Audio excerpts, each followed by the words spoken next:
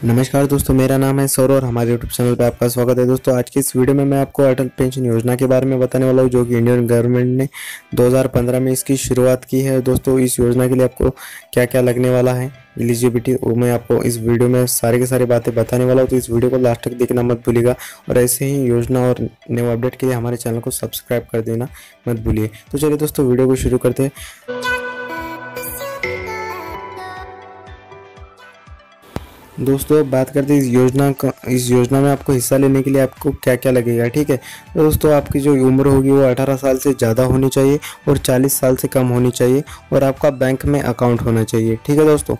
इतना ही लगता है बस, और आपके अकाउंट में पैसे होने चाहिए जितने कि आप मंथली इस योजना को दे रहे हो। दोस्तों, बात करते हैं आपको मंथली कितना देने पर कितना मिलेगा साठ साल के बाद। अगर दोस्तों आप फोर्टी टू रुपी पर फोर्टी टू रुपीज़ मतलब बयालीस रुपये पर मंथ देते हो तो आपको एक हज़ार रुपया मिलेगा साठ साल के बाद जो आपको पेंशन शुरू होने वाला है, ठीक है?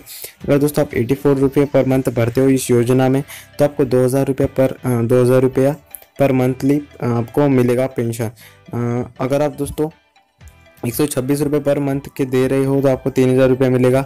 अगर आप दोस्तों one hundred sixty eight rupees per month के इस योजना में इस योजना को दे रहे हो तो आपको चार हज़ार रुपया मिल जाएगा पर मंथ का। अगर आप दो सौ दस रुपया दे रहे हो तो आपको पाँच हज़ार रुपये पर मंथ इस योजना से साठ साल के बाद मिलने लगेगा। ठीक है दोस्तों अगर आपका किसी कारण मृत्यु हो जाती है तो जो आपका जीवन साथी है उसको पैसे मिल जाते हैं। और अगर आपका बेटा हुआ तो आपका अगर जीवन साथी नहीं है तो आपका बेट, बेटे को भी पैसे मिल जाते हैं। कोई भी इसमें पैसे खाने डूबने वाली बात नहीं है, पैसे मिलने ही वाले अगर आपको किसी कारण मृत्यु भी हो जाता है। दोस्तों, जो एज वाइज आपको पैसे पे करने होते हैं, उसके चार्ट मैंने स्क्रीन स्क्रीन पर डिस्प्ले किया है, वहाँ से आप देख सकते हैं और डिस्क्रिप्शन में भी मैं इसका लिंक दे दूँगा।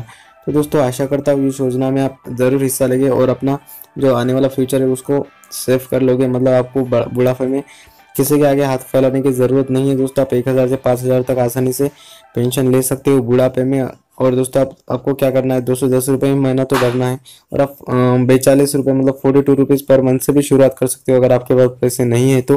अगर आपके पास अच्छे खासे पैसे है तो आप दो सौ दस रुपया ही आ, मेरे ख्याल से दो सौ दस रुपये आप पर मंथली भरो। आपको पाँच हज़ार रुपये पर मंथ साठ साल के बाद शुरू हो जाएगा। तो बहुत अच्छी योजना है दोस्तों इंडियन गवर्नमेंट ने इसे 2015 से लागू किया है। तो दोस्तों आशा करता हूँ वीडियो आपको समझ आई होगी। और ऐसे ही दोस्तों आपको योजना और कुछ गवर्नमेंट के जो योजनाएँ होती है दोस्तों, उसके वीडियो के लिए हमारे चैनल को सब्सक्राइब कर दे और बेलाइकन पर प्रेस कर दे। तो मिलते हैं दोस्तों अगले वीडियो में, तब तक के लिए जय हिंद, वंदे मातरम।